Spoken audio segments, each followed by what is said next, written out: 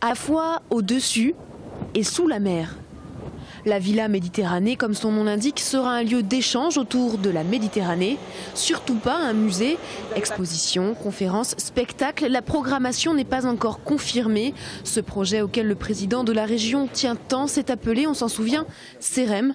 Alors pourquoi un changement de nom? Donc on en est venu au CEREM euh, pour bien dire c'est la région qui fait tout ici et qui s'occupe de ce projet entièrement, financièrement et, sur le plan architectural.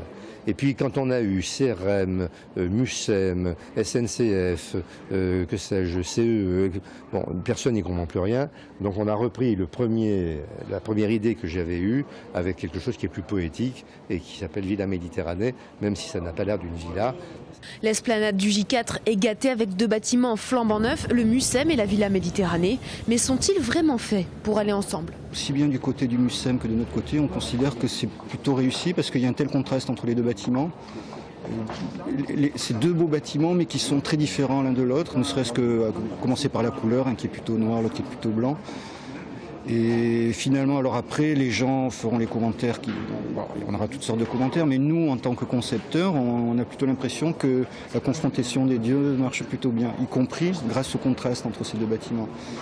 Contrairement à son voisin, les travaux de la Villa Méditerranée sont presque achevés. Ne restent que les finitions. Il faudra pourtant encore attendre le mois de mars pour son inauguration.